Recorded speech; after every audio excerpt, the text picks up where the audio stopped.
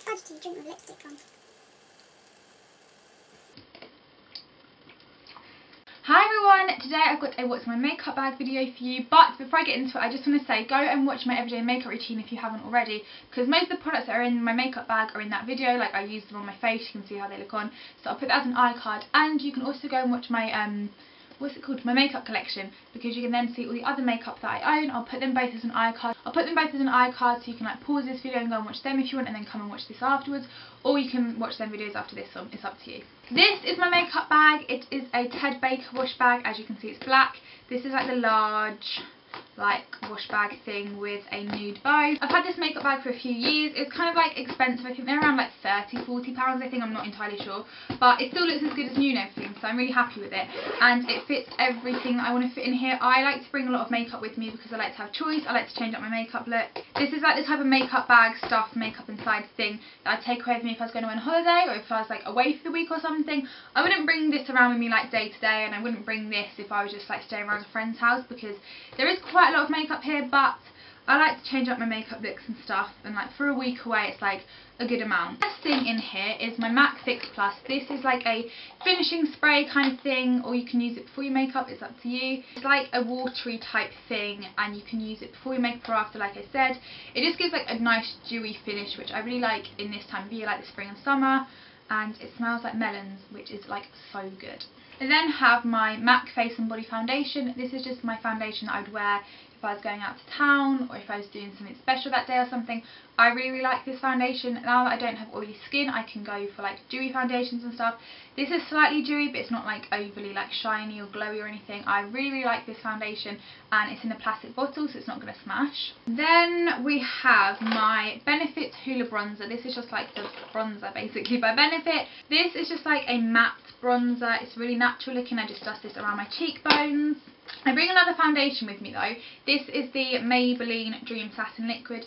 I like to bring this foundation because this one is kind of pricey and if I want to wear makeup but I don't want to waste my expensive makeup I'll go for this stuff. If I don't want to wear makeup I won't wear makeup because there's no point, I can't be bothered, whatever.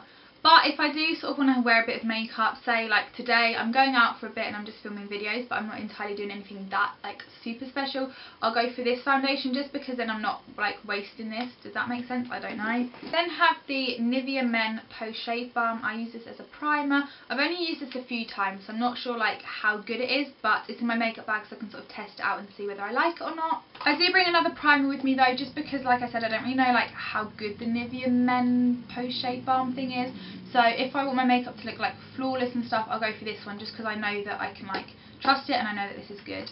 Then have my eyebrow stuff. I have the um, Anastasia Dip Brow Pomade and the MAC Fluidline Brow Gel Cream. I did a comparison of these two, so if you want to go watch that video, just have a look through my channel and you'll find it. I just use this for the end of my brows and like this one for the front.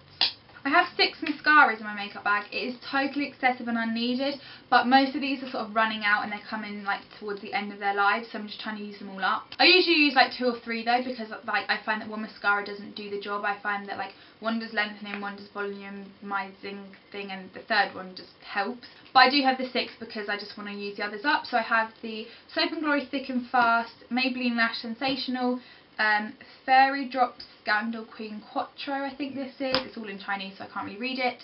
L'Oreal Mega Volume Miss Manga Punky, and then Benefit They're Real and Benefit Roller Lash. I have my NARS Olympia Contour Palette. This is my absolute baby. It's got a really good size mirror, so if I need like a mirror to do my makeup in, if I'm like in a hotel or something, this is really good. And it just comes with a matte bronzer and a matte highlight, not a bronzer, contour powder. I like how this looks. It just like makes my cheekbones look good and it's like a really nice shade. You probably can't see but it's good. You can see it in my everyday makeup routine. I have a concealer. This is the MAC Select Cover Up. This is just like a really heavy duty thick concealer but it's not like cake or anything. It's really good. I then have a highlight. This is MAC's Soft and Gentle Mineralized Skin Finish. I love this. This is probably my favourite highlighter. I just really like the colour of it and how it looks on the skin. It just gives like a really glowy look. I love this. A lot of people talk about it on YouTube but it's because it's good so.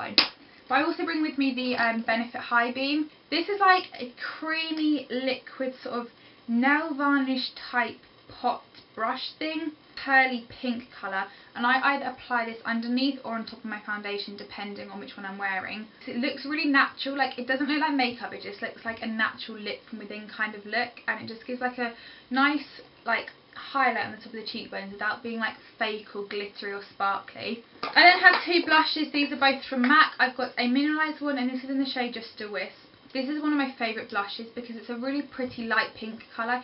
It's quite um shimmery and like sort of highlightery kind of thing.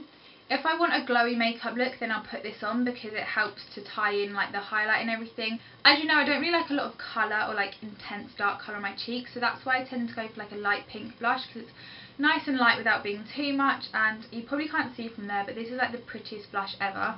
And then I have Well Dressed. This is just a satin powder blush. This is really, really natural, like I would go for this one if I'm not going for a glowy look or if I don't want to go as intense in my makeup because this is just a really light pastel pink. It goes really sheer on the cheeks, you can build it up though, but I really like this for day to day just because it looks nice and natural.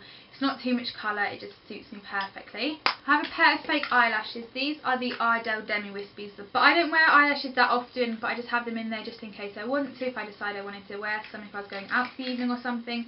And then I also have a tiny, tiny little um, like mini duo eyelash glue in here just to attach them. Two eyeliners, the first is the L'Oreal Superliner Perfect Slim, this is how it looks on my hand. It's basically just a felt tip liner, it's really good for wings or for thin lines on top of my eyes and this is my favourite one that I have. And then I've got the Soap and Glory Smolder Kohl, this is just a waterproof black eyeliner and I sometimes use this to like waterline or tightline my eyes. And now the rest is just lip products, so the first is the Charlotte Tilbury um, Lip Cheat. This is in the shade Pillow Talk and it's just like a nudie pink sort of lip liner. This goes with most of my lipsticks I wear because I tend to go for like nudes or like pinks and this just works well with all of them. And this is just like a creamy sort of waxy lip liner. Then I have my popular 710 Sultry Sand lipstick by Maybelline. If you watch my videos you'll know how much I love this. I just like to use this lipstick to mix with other lipsticks. This is quite a pale nude, it's too light to wear by itself, but some of my other nude lipsticks are too dark for my opinion, like on my skin tone they don't look right, so I'll mix this one with the dark lipsticks to get like the perfect shade. Or I will use this to sort of get rid of my natural lip colour because I don't like my natural lip colour, it's too dark, I don't really like how it looks. But if I'm not in the mood to wear a proper lipstick or to apply like a lip liner or a lip gloss or something, I'll just sort of dab this on my lips just to sort of make them look a little bit lighter without bothering with too much makeup. Two MAC lipsticks. The first is Blankety. I don't wear this that often, so that's why it's in my makeup bag because I want to start wearing it more. It's just like a nice sort of brownie nude. I think so many people would like this, and this is an amplified finish. Then I've got my favourite lipstick, and this is MAC Flesh Pots. I love this. I'm currently wearing this with um, this lip liner and my next item, which is the NARS Turkish Delight Lip Gloss. These three are my favourite lip combinations. I absolutely love them together. They work really well. Like I said, this is the Turkish Delight Lip Gloss by NARS. It's just a really nice pretty pink colour. It's not too sticky or anything. It's quite opaque actually. Like you could wear this by itself without a lipstick underneath because it's that pigmented and I absolutely love the packaging. Like this is actually stunning. And then I have the Charlotte Tilbury lipstick in the shade Bitch Perfect. This is a sort of dark nude than what I'd wear. It's more of like a pinky sort of ready kind of nude but I mix it with this quite often. This is like the Maybelline one that I just mentioned because these two mixed together gives like the perfect nude. I absolutely love it. And then I have the Soap and Glory Pillow Plump XXL this is just the clear one. It's basically a lip plumping sort of tingly lip gloss. I don't tend to wear this as like a makeup item, like once I've done my makeup I don't put this on and be like, right, my makeup's finished. I sort of just put this on when I'm bored because I really like the tingly feeling. It's not really like I don't I didn't buy it for the plumping effect or for bigger lips. I literally just bought this because I like the feeling of it on my lips.